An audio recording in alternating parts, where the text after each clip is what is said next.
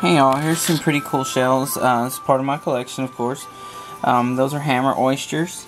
You can see how they get their name. Uh, they're both. I have both sides. They're tied together there. Uh, every shell is so unique, uh, and uh, those are in really good shape. The spines are in great shape on them. Uh, that's a sea urchin. These are some of my favorite. These are some of my most favorite shells. they're pretty neat because it's the bottom. Uh, and they're carrier shells.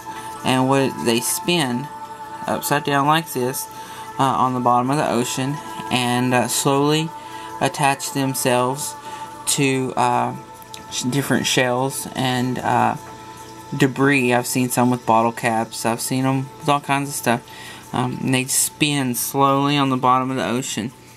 And uh, with them spinning with the current is makes them collect different things and I uh, I have gotten these uh, different on different trips uh, different places we've went. I found these on different trips that we've been on. Uh, I'm fortunate enough to get to travel enough and bring things home. This one I bought. You can see paid $10 for it which I thought was a really good price. I bought this one in uh, Galveston at a little mom and pop shop there and normally I wouldn't buy these because I have a few of them already.